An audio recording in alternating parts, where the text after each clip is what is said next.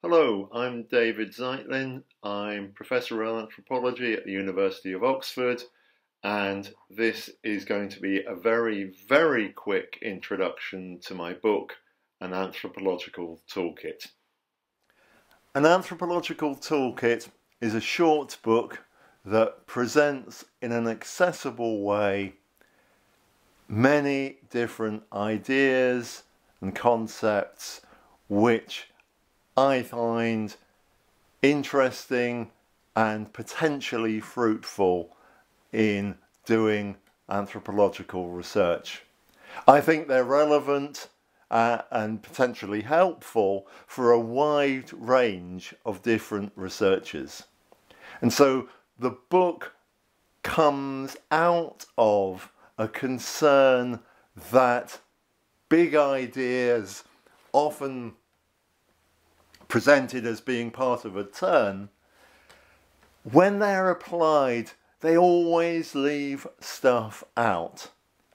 And I'm interested in developing ways in which we can build more textured, nuanced, richer accounts by applying not just the big ideas which are really interesting and often powerful, but also some of the ideas, the other ideas that tend to get neglected and which I've tried to put in this book.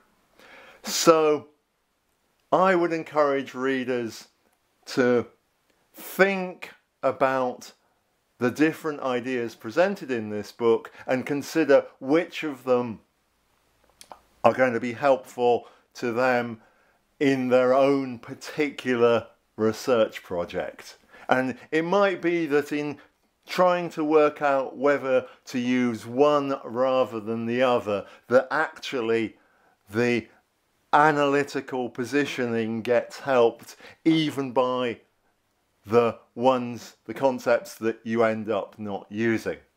And at the end, just to illustrate this, I give a small ethnographic example which uses a few, I think it's four or five, of the concepts taken out of the book. And so I hope readers will enjoy exploring this wide range of different analytical concepts. Thank you.